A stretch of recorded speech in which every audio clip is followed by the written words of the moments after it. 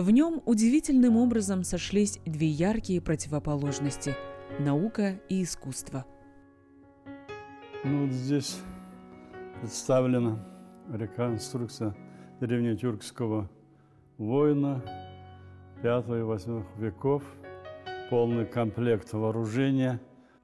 Этот знатный воин, экипированный для своего времени как нельзя лучше – Конечная точка в долгом и кропотливом процессе.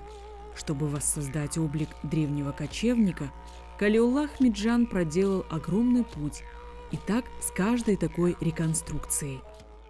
Это не художественный вымысел, это все на, на основе реальных археологических артефактов.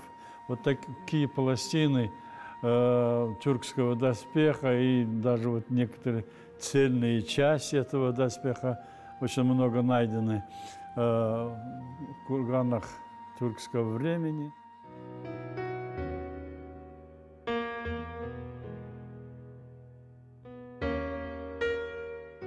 Уютный и небольшой кабинет. Калюлу Ахмеджана окружают лишь книги. Масса книг о самом разном. Когда-то именно с них и началась его история в качестве художника и знатока вооружения с научной степенью – Исторических талмудов было немало в доме его родного дяди по отцу, который воспитывал племянника после гибели его родителей. Он был по образованию историк, он был директором школы, преподавал историю, и у нас дома была очень большая библиотека исторических книг. Поэтому я с детства читал их, увлекался историческими романами. Уже в пятом классе я читал Дон Кихота Сервантеса, Айвенга Вальтера Скотта. И у меня вот эта любовь к истории и к искусству совместились, и я мечтал стать художником-баталистом, художником, который пишет исторические картины. Мечта постепенно воплощалась в жизнь. Закончив школу, еще при Хрущеве, Калиула поступает в Алматинское художественное училище. Оно стало необходимым условием для поступления уже в ВУЗ. Волею судеб талантливый молодой человек попадает в Ленинградский госинститут живописи, скульптуры и архитектуры имени Репина. Здание его старинные, где вот раньше была Академия художеств, там мастерские, где учились когда-то и Репин, там, и Крамской, там Суриков. Это такая историческое, в общем, достояние. И, конечно, да, когда я вот поступал, сдавал экзамены, я, в общем, был в таком вот, э, э, как бы и, и в шоке, и в восхищении, что я наконец-то вот поступаю в такое учебное заведение, где учились великие художники. Мы с ним уже э, более 10 лет э, работаем. Мы, э, прежде чем приступить, скажем, к реконструкции костюма, он каждую вещь каждый предмет, каждый этот предмет вооружения он сам э, держит в руках, отрисовывает, снимает, фотографирует. Э, после тщательного изучения только он это воссоздает, ставит на свое место. И поэтому его реконструкция костюма и вооружения казахов и его предков Э, на сегодняшний день наиболее достоверная э, вообще в исторической науке Казахстана. Я иногда шучу, говорю, э, художники создают историю, а историки искажают. А те, которые художники до нашей эры сделаны вещи, золотые изделия, сакские, скифские, вот недавно находили, берили золотую изделие, захоронение, вождя, а может царя, мы не знаем. Вот благодаря Халилулла Саматовичу мы представляем, из чего оно сделано. Все это будет потом. И признание его огромного вклада в историческую науку Казахстана, и долгие годы успешного тандема с первооткрывателем знаменитых берельских курганов Зейнуллой Самашевым – Вместе они создали не одну потрясающую музейную реконструкцию, однако тогда, будучи еще в начале своего пути, Калиуллах Миджан и не подозревал, насколько уникальной и насыщенной будет его творческая карьера. И в 1993 году даже на ТЛ по итогам года за цикл этих материалов меня назвали лауреатом газеты «Анатолы» в числе вот таких известных имен, как Зафар Алимбаев, Абдуали Хайдар, это классика наши филологи, поэты, писатели. Среди них меня тогда еще неизвестных никому художника назвали лауреатом года. Действительно, факт удивительный, если смотреть поверхностно – но по сути эти первые лавры начинающего деятеля науки и истории вполне заслуженны. Ведь он взялся открыть миру и родному народу, казалось бы, исчезнувшие навсегда исторические пласты о военном ремесле древних намадов. Вот это вот тоже похоже на это оружие, но немножко другое. Тут рукоять э, похожа на, на сабельную – этот кинжал, тип кинжала называется селебе. Об этом кинжале в свое время писал Шокан Валиханов в своих работах и оставил рисунок этого э, кинжала.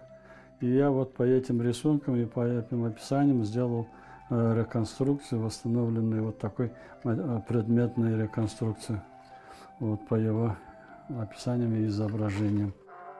Какие только виды оружия он не видел – кинжал султанов, ножи прославленных батыров, доспехи героев национальных восстаний, шлемы, кольчуги, щиты, колчаны с луками.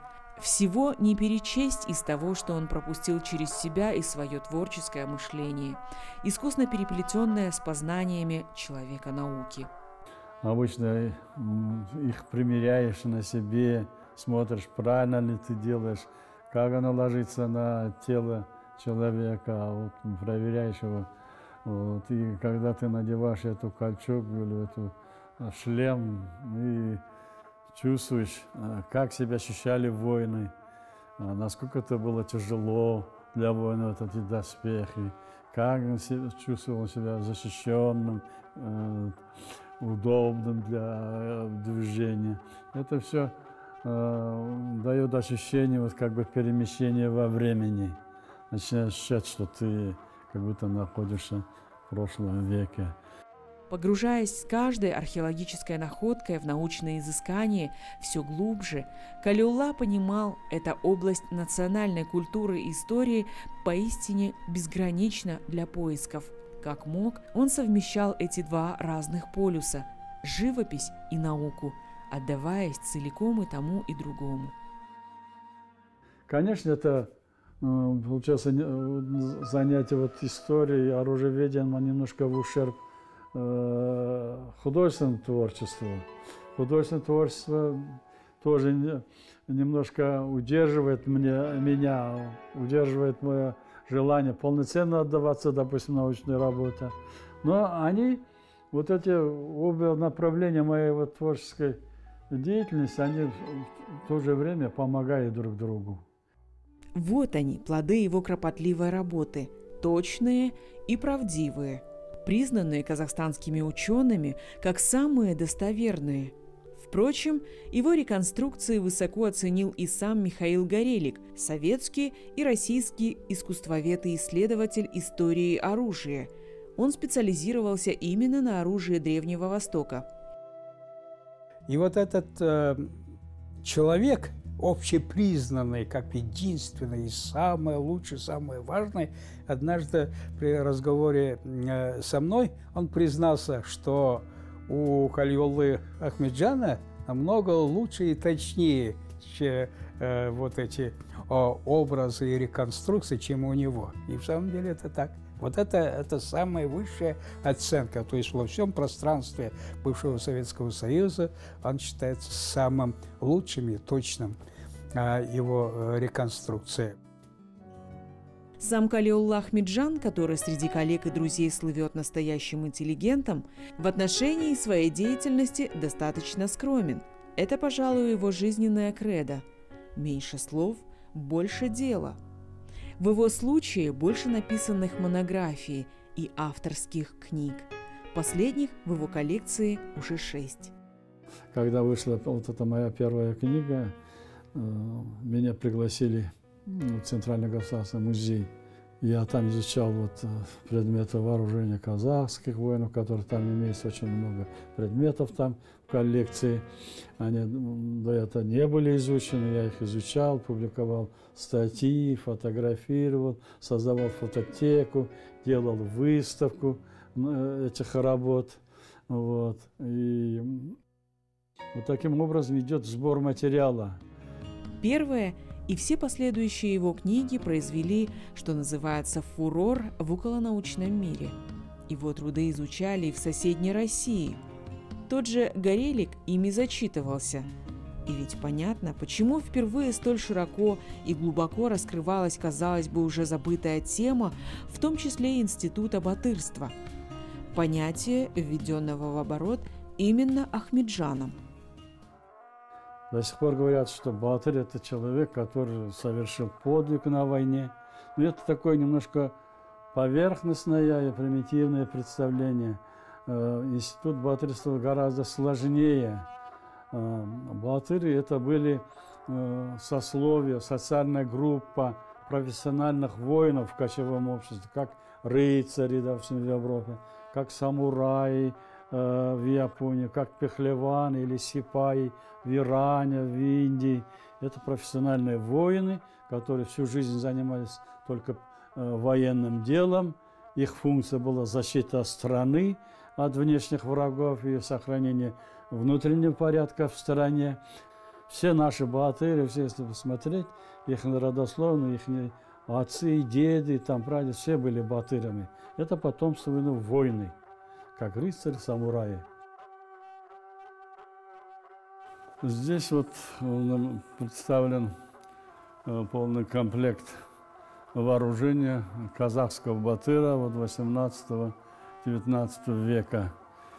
Э, здесь мы видим вот такой вот э, кольчужный доспех, сплетенный из таких стальных колец, шлем – Батыры в прошлые времена были уникальным явлением в кочевом обществе. Они не просто защищали народ, но и делились с простыми людьми военными трофеями и этим, по сути, кормили остальных. Неудивительно, что их любили и уважали, ими гордились, их почитали. До широкого распространения огнестрельного оружия кочевники всегда были выше вот, э, оседлых народов. Поэтому создавались вот эти огромные кочевые империи. Поэтому вот у казахов вот такая огром, огромная территория. Если посмотреть и сравнить с другими народами, то видим, огромная. Это только часть оставшаяся, а тогда было еще больше. И вот благодаря вот этим батырям, которые завоевали э, эту территорию, сохранили. Их подвиги, их значение и роль еще предстоит открыть широкой аудитории – Пока же многое скрыто в музейных фондах. Эти волшебные артефакты ждут своего часа и своих ученых, оружиеведов, которые, как когда-то Калиул Ахмеджан, должны найти их и изучить. Это копия ножа Кабамбай Батыра. Оригинал находится в Туркестане в музее. Чтобы пролить свет на тайны прошлых столетий он побывал во многих музеях, исследовал немало экспонатов. А еще он успевает писать в своей второй мастерской, где место лишь краскам, мольбертам и полотнам. Художником быть во все времена тяжело. Вот э, когда вот пророк Мухаммад начал первый раз вот получать вот, аяны, он испугался, думал, что может это дьявол его Э, возмущает. И он обратился к одному святому, и тот сказал, ну, он очень старый человек, и он сказал, жалко, что я не доживу до того момента, когда тебя начинают изгонять, и, чтобы быть рядом, для, чтобы защищать тебя. Мухаммед пророк сказал, почему меня должны изгонять? Это миссия пророка, сказал вот этот старик святой. Вот. Художник тоже в каком-то смысле пророк. Они немножко впереди людей, они предвидят какие-то э, идеи, которые вот витают в обществе. Поэтому и, и они преждевременно какие-то идеи высказывают, и не всегда бывает поняты людьми. Калиолла Ахмеджан признается, он счастливый художник, потому что он может творить свободно и потому что его понимают, хотя даже коллеги называют его загадочным мастером. Возможно, по причине самой техники, которой пользуется живописец, пуантилизм от французского слова, означающего «писать точками». И каждому слою дается время для высыхания, должно высохнуть, чтобы этот, когда второй слой э, пишет, чтобы она не соединялся с, с, с нижним слоем. А и третий уже слой, вот, уже между вот этими пятнами, очень мелкие такие светлые точки, как бы э, создают ощущение свечения. В Казахстане работает лишь Калиулла Ахмеджан. Он разрабатывал эту технику еще в советские годы, при этом был вынужден отложить ее до лучших времен. Ведь в те времена художникам приходилось мириться с цензурой и строгими правилами. Это сложная очень техника. Это не абстрактная такая вот живость, где можно вот очень быстро декоративно набрать какие-то цветовые отношения. Здесь очень скрупулезная э, техника она как бы продолжение вот поиска э, передачи цвета в живописи. Как художник, он очень хороший художник. Я бы на его месте не писала бы книги, я бы рисовала. Он, он очень красиво рисует, очень один из лучших художников в Казахстане. И способности у него ну, возможности сделать шикарных работ очень много. Но он просто э, очень много историй увлекается. Обладая даром художественного предвидения, Калиулла Ахмеджан даже в условиях запрета на инакомыслие оттачивал в мастерской редкий стиль пуантилизма. Впрок он собирал материалы и по теме вооружения, зная, что время для этих исследований еще придет.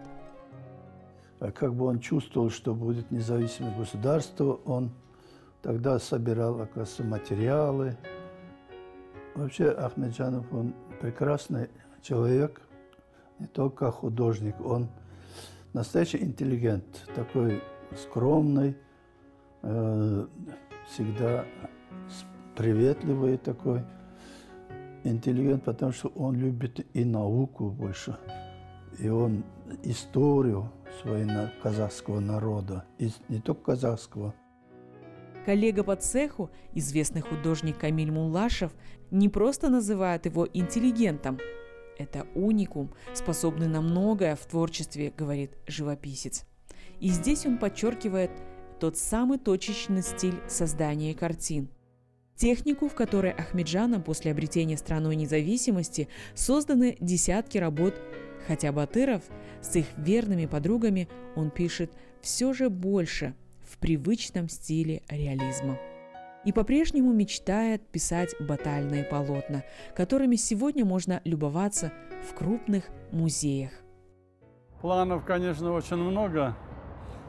Я сейчас э, тоже вот мечтаю э, сделать несколько вот э, э, картин на историческую тему. И еще продолжаю работать в исторической реконструкции, потому что хочу восстановить весь, все комплекты вооружения э, казахских воинов прошлых веков. Потому что вот представление у людей о наших войнах, о прошлых э, э видах вооружения очень, э, можно сказать, слабое, очень мало знает. Даже считает, что ничего у нас не было. Это вот такое мышление сложилось в советский период. Я хочу, чтобы это восстановить.